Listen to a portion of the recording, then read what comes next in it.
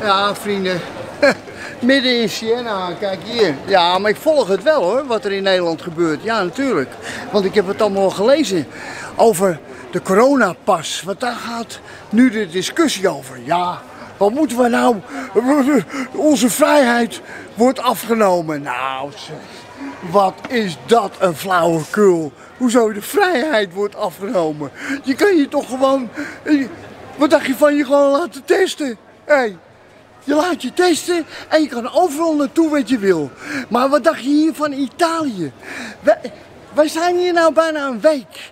En als je een restaurant in wil, dan moet je gewoon laten zien dat je gevaccineerd bent. Ja, als kom je er, of je moet je getesten, anders kom je er niet in. Nee, want dan zegt zo'n man, nee, sorry, sorry, sorry. En klaar, en je komt er niet in. Dus dat is hier normaal. En wat denk je van deze? Hier. Elk moment, wanneer je ook maar ergens binnenloopt. Hup, dan, dan vragen mondkapje op alsjeblieft. Geen enkel probleem hier. Maar in Nederland blijven we maar vervelen en blijven we maar discussiëren over de coronapas. Want oh god, want het verdeelt de maatschappij, dat zeggen ze dan. Ja, oh, want de mensen die niet gevaccineerd worden, die worden dan buitengesloten. Nee, zo zit het niet.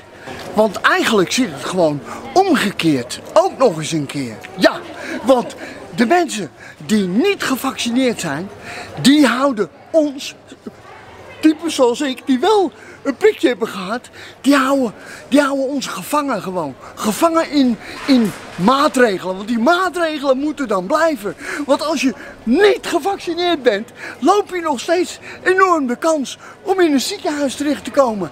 Zo zit het in elkaar. Ja, en maar daar hoor ik weinig mensen over. Ik hoor alleen maar de mensen van ja, als we niet gevaccineerd zijn, dan pak je ons de vrijheid af. En dan uh, zorg je dat wij niet meer verder kunnen leven. Nee, nee. De mensen die wel gevaccineerd zijn, worden door de niet gevaccineerden nu een beetje, ja, in een hele vervelende positie geduwd. Want die mensen die gevaccineerd zijn, die willen juist van al die maatregelen af.